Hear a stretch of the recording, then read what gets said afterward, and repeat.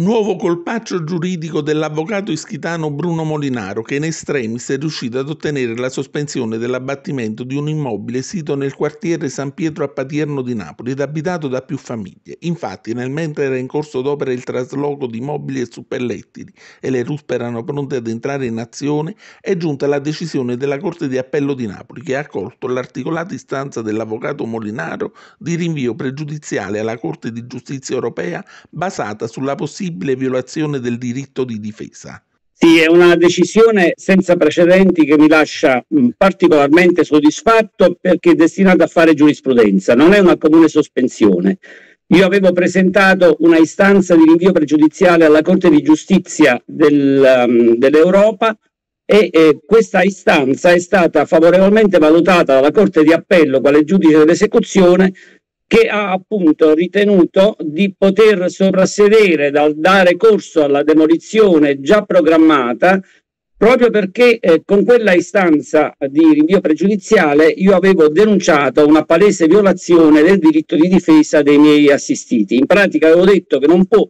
eh, lo stesso giudice che ha rigettato un incidente di esecuzione pronunziarsi poi sulla istanza di sospensione avvalendosi di un potere discrezionale illimitato e magari rigettarla senza colpo ferire, ecco, senza che alcun rimedio il nostro ordinamento preveda a tal proposito. Io il rimedio l'ho trovato e questa richiesta di invio pregiudiziale alla Corte europea e devo dire eh, onore ai giudici che hanno riconosciuto dopo aver rigettato le istanze di sospensione la fondatezza della tesi. Infatti nel provvedimento i giudici danno atto della opportunità di sospendere l'esecuzione sino alla decisione della Cassazione, sebbene eh, il procuratore generale, interpellato per il parere di rito, avesse già eh, espresso eh, un avviso negativo eh, chiedendo espressamente di voler dichiarare inammissibile questa nuova eh, richiesta. La Corte non è stata eh, dello stesso avviso e ha accolto le mie ragioni. Davvero è un momento molto felice per la giurisprudenza eh, partenopea e italiana in generale, perché credo sia eh, il primo precedente in materia, fatta eccezione per quello di pianura, eh, del quale hanno parlato ampiamente le cronache. Tempo fa, nel dicembre del 2019,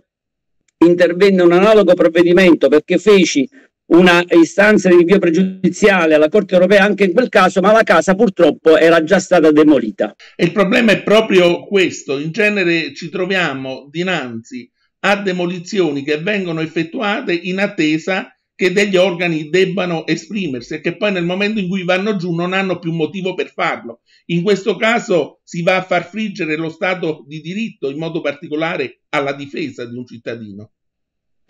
Sì, questo accade quando l'avvocato si limita a chiedere la revoca soltanto dell'ordine di demolizione. Io ritengo invece che si debba formulare una richiesta più ampia, cioè una richiesta finalizzata a far dichiarare la inammissibilità dell'azione esecutiva. In questo caso, con questa formulazione specifica particolare, il giudice è tenuto comunque ad accertare la legittimità della procedura anche quando la demolizione è già avvenuta. Quindi è una questione di petitum, come dicevano gli avvocati, di eh, richiesta da formulare in un certo modo piuttosto che in un altro. Certamente la parte ha interesse a demolizione avvenuta ad ottenere un sindacato sulla legittimità della demolizione stessa e perché potrebbe accadere appunto che la procedura era illegittima, in quel caso una tutela risarcitoria compete come?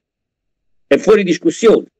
Rispetto alla recrudescenza in campagna di demolizioni di casi in piena emergenza sanitaria da Covid-19 nel mezzo di una crisi economica senza precedenti, e al respingimento di tutti gli incidenti di esecuzione, la sospensione odierna dell'abbattimento di San Pietro a Patierno rappresenta un risultato a dir poco straordinario. Intanto i comitati campani per il diritto alla casa hanno indetto una manifestazione di protesta che si terrà il 25 maggio in piazza Montecitorio a Roma per chiedere al governo e Parlamento la definitiva soluzione di questa autentica tragedia sociale, per cui da 12 anni a questa parte in Campania, a dimostrazione che ci troviamo dinanzi ad una colossale ingiustizia e non al ripristino della legalità come qualcuno vorrebbe farci credere, continuano ad andare giù solo case abitate da semplici famiglie ormai da 30 anni e giammai la grossa speculazione edilizia affaristica e gli ecomostri di Stato.